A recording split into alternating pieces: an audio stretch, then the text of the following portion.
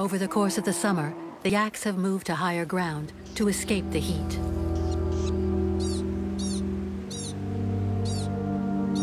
The old male has followed them.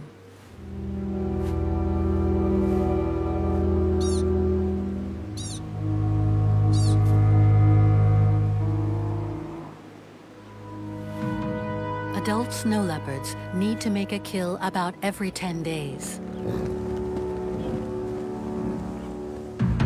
Becomes part of the landscape, creeping closer.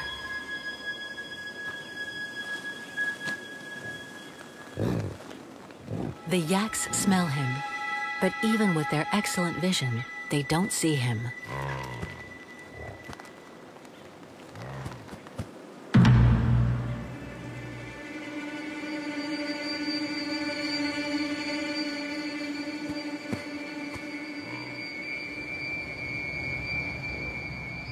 He sets his sights on a youngster that's wandered away.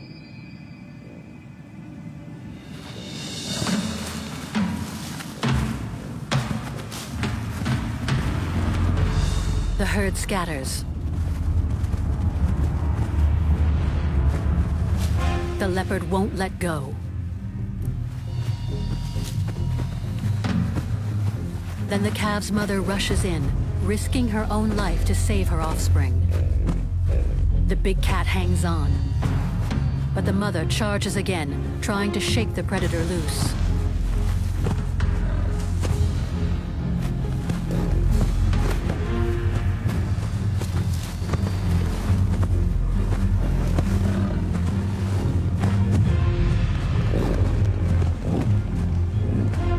A wingman shows up to boost the defense.